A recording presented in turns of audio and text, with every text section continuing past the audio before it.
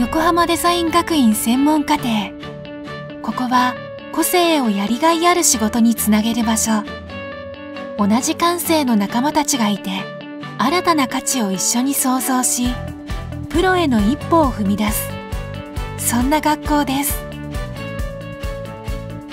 本学院の特徴は少人数制の授業。仕事を体験できる産官学連携による実践。そして就職実現に向けた授業です。総合デザイン学科としてビジュアルデザイン分野ファッション分野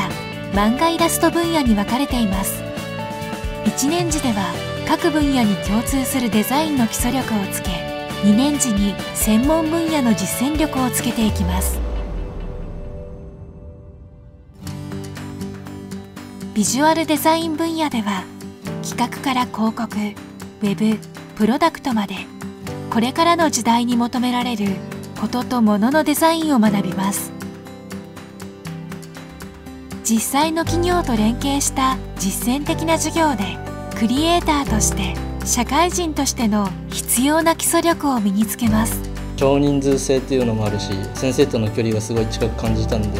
YDC を選びました。たくさん留学生がいるんですけど日本以外のデザインとかも学べるかなと思ってこの学校を選びました。企業連携課題っていうのをやったよっていうことを企業様に伝えると面接の時とかも説得力があるというか大切な事業だと思っております。ファッション分野ではファッションデザインとファッションビジネスについて学びます。1年次では様々な職種の基礎スキルを学び同時にマーケティングやコミュニケーションスキルデジタルスキルを身につけます。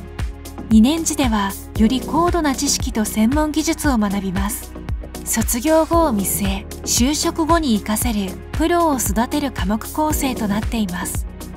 先生が一人一人にちゃんと教えてくれるしキラキラしたドレスとかいろんなデザインを作ってみたいと思います。2年間でデザイナーになるための知識をつけて卒業したいなって思っています。ファッションの業界に入ったからといってコマーシャルを作る人たち建築業界の人と話すかもしれない。他分野の人たちと一緒に仕事をしていける人材を育てたいなと思っています。漫画イラスト分野では原石のような個性を磨き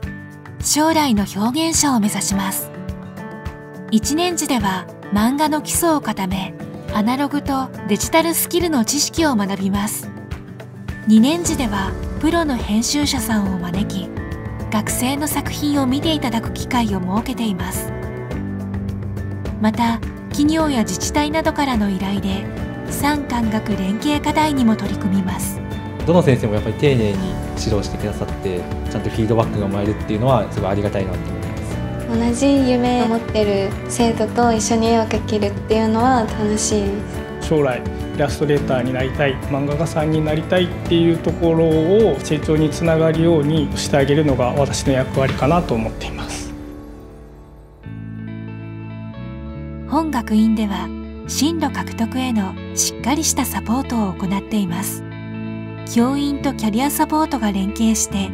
学生の未来に向けた進路へ一丸となってサポートしています。自分の力を生かせるところっていうところがどんなところなのか。そこに必要なスキルとか準備っていうものがどんなものなのかキャリアサポートではやっております。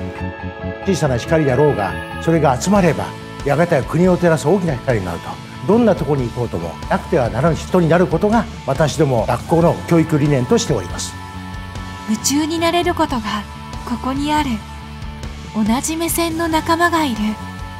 さあ興味をやりたいことに変えてプロへの一歩を踏み出そう。